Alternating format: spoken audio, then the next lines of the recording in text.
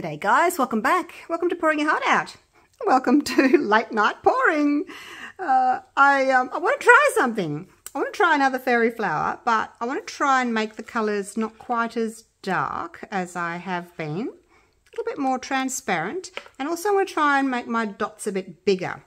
Um, now, colours today, totally inspired by the lovely Jacqueline Say. Hi, Jackie. Do we call you Jackie? Not sure.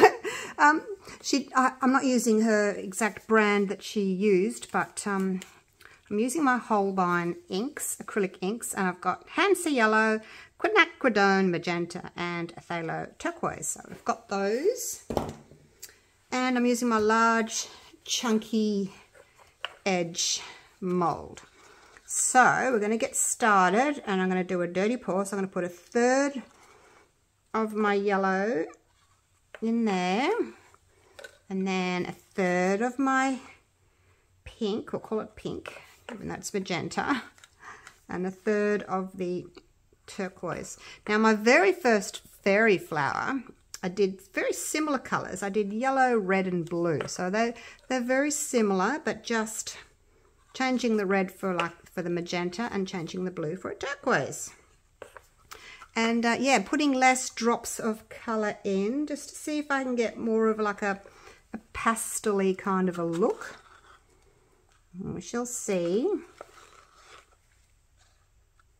I think I've got about, I think I put six drops of yellow in, in this one.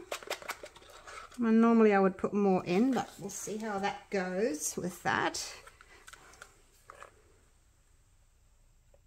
So hoping for some pretty sort of fairy floss pastel colours. When you're doing a dirty pour, you've really got to think about what colours you're putting together because you could end up with brown. yellow and purple are not good together for a start. Um, primary colours are always good together because you're going to make other colours with them. You know, yellow and blue makes green, and yellow and red makes orange. So you're pretty, pretty good with your, um, pretty safe with your primary colours. I'd actually like to do one with purple and blue. I don't think I've done that yet, purple and blue.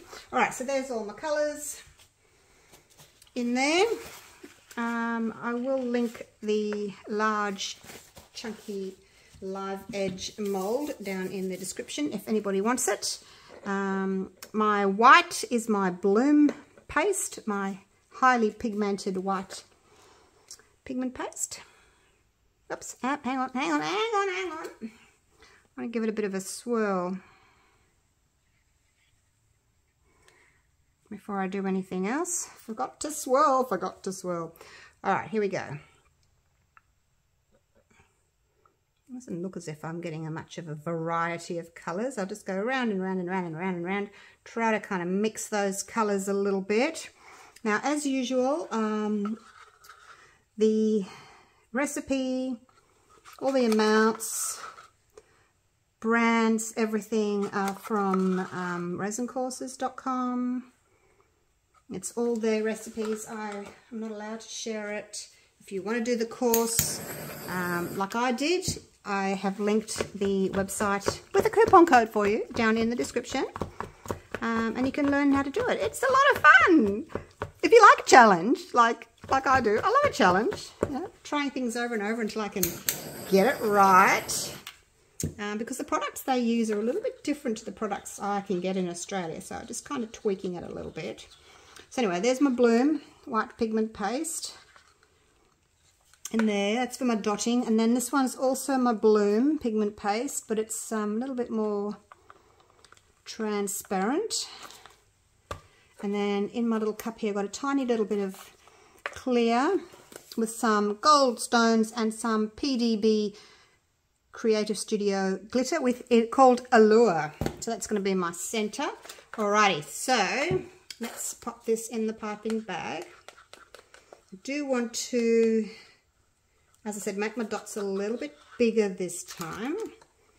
Because when I've been doing my fairy flower, even though they've been lovely and I've been happy with them, I've been getting really small, fine petals. Um, and I'm just wondering if it's because I'm doing my dots a little bit small. So testing that theory out today. See if I, it looks just very dark, doesn't it? Here am I trying to make my colours a bit lighter. It just still looks really dark.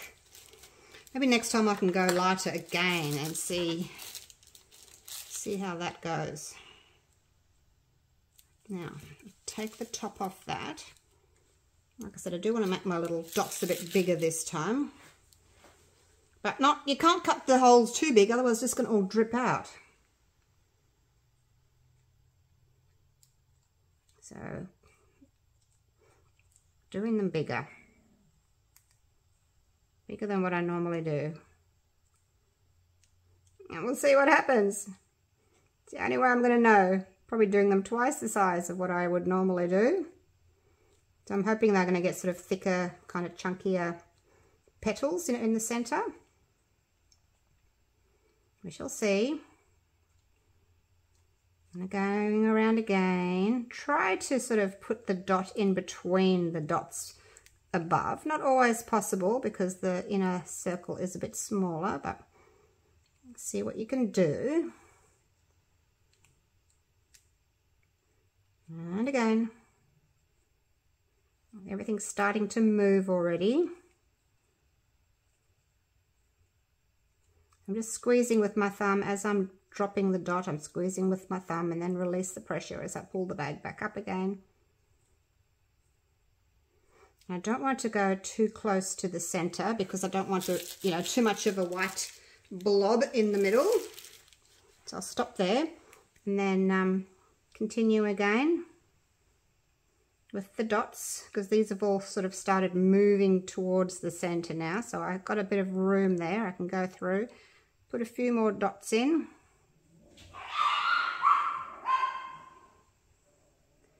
Noisy dogs. Don't know what set them off so late at night. Could be my husband, I guess. All right. Um, and then I'm going to go around again and just put another little row just between anything that looks kind of as if it needs a bit more colour.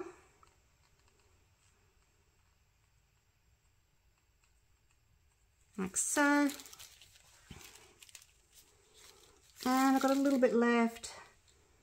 I'll just put a bit more, do a little, little swirly around the outside. I've done this before, I think once. It's what you do with the dragon flower, but I, I think I have done it before with the um, fairy as well. I think the shape of your mould as well makes a big difference as to the effects that you're going to get.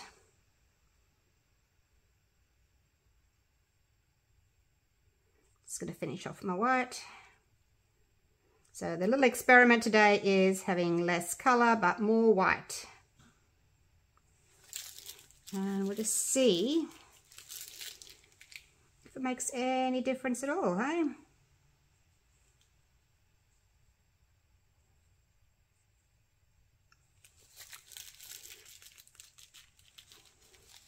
So I'll be super keen to see. I won't be able to unmold it tonight. because it's, it's almost bedtime. But I wanted to come and try.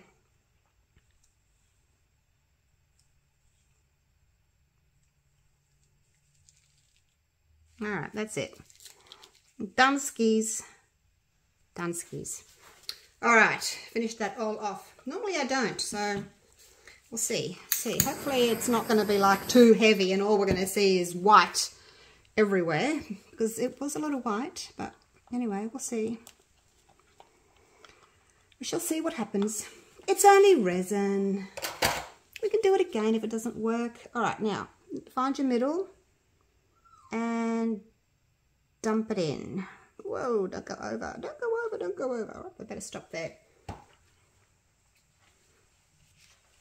So I am using the Art Pro resin from Resin Pro and I mixed up, what did I mix up? I'll write it down. 135 grams of A and 90 grams of B. It's a 3 to 2 resin, so it takes a little bit of adjusting, you know, if you're used to a 2 to 1 or a, a 1 to 1. Takes a little bit of working out, a little bit of maths. All right, there we go. There we go. It's probably a little bit on the full side. It looks very dark, like seriously, dude. I didn't use that much colour. I didn't think I did. All right, now don't overflow. Maybe I should take a bit out. Didn't realise I was, I had so much in there.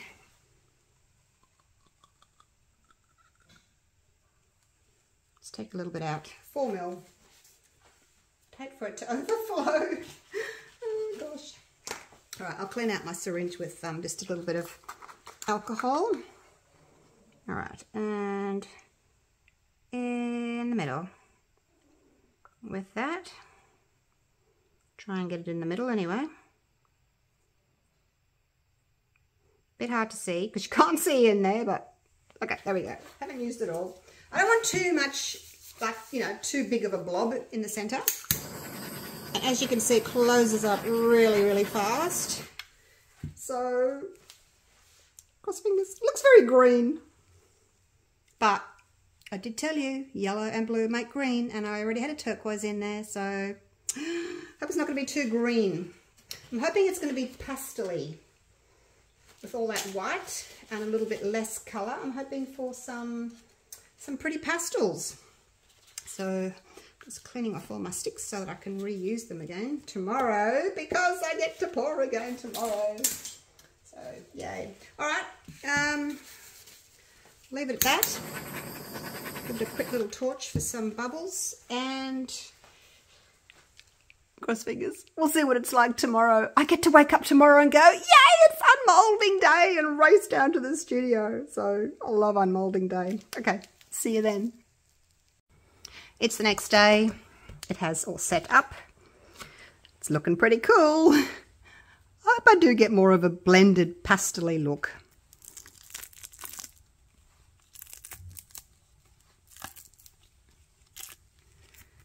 All right, comes out so much easier when you've you know left it overnight rather than putting it in the heater because the sides aren't soft anymore. Okay, shall we do this? Oh my gosh, I've got some floaty bits. See, this is why I don't particularly like using the glitter, but I mixed it with the stone. I thought it would be all right, but we've still got a few that have few little floaty bits. All right, without further ado, here we go, here we go, here we go. Oh, wow. Look at that. It is more blended. Goodness me. Gee, I've overfilled it a bit. Look at my little edges I need to trim. Wow. That is so pretty. Do you like that? It's pastely. I think my petals are a bit thicker. do they look a bit thicker to you? Or do they still look really fine?